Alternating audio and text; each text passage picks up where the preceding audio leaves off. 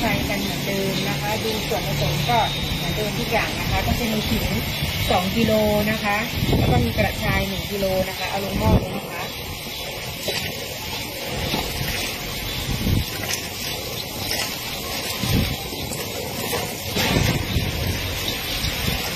เราต้มมาแล้วเป็นระยะเวลาสิบต่อวันแล้วนะคะ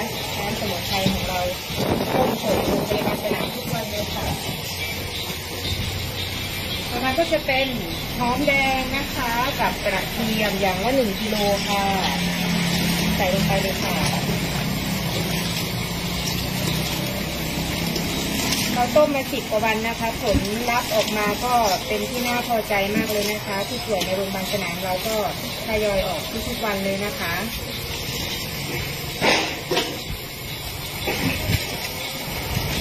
นะคะก็จะเป็น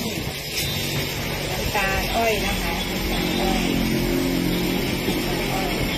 ช้อนอันนี้คือน้ำตาลอ้อยที่แบบจากธรรมชาติเลยนะคะ ตัวนี้นะคะไม่ขัดสีนะคะ ธรรมชาติจะทำให้รสชาติรสคุณคุณสรรพคุณของสมุนไพรเรานะคะ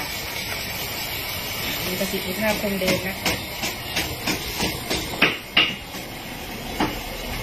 ต่อมา ก็จะเป็นนะคะนี่น้ำผึ้งเดือนห้านะคะ น้ำผึ้งของท่านผู้ว่าราชการจังหวัดมุกดาหารของเรานะคะ น้ำผึ้งเดือนห้านะคะหนึ่งทัพพีนะคะใส่ลงไปนะคะหอมมากเลยค่ะ สีก็สวยนะคะดูนะคะ สีสวยมากเลยพอเสร็จแล้วสุดท้าย ก็คือเป็นเกลือนะคะ เป็นเกลือไอโอดีนเราใช้เกลือไอโอดีนนะคะ อย่างดีเลยนะคะ ใส่ลงไปค่ะ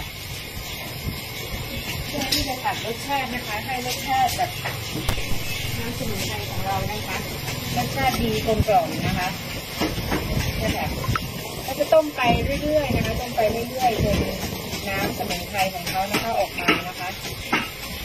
ก็ส่งโรงพยาบาลสนามทุกวันวันนี้ก็มีข่าวดีค่ะ ก็ได้ออกจากโรงพยาบาลสนามด้วย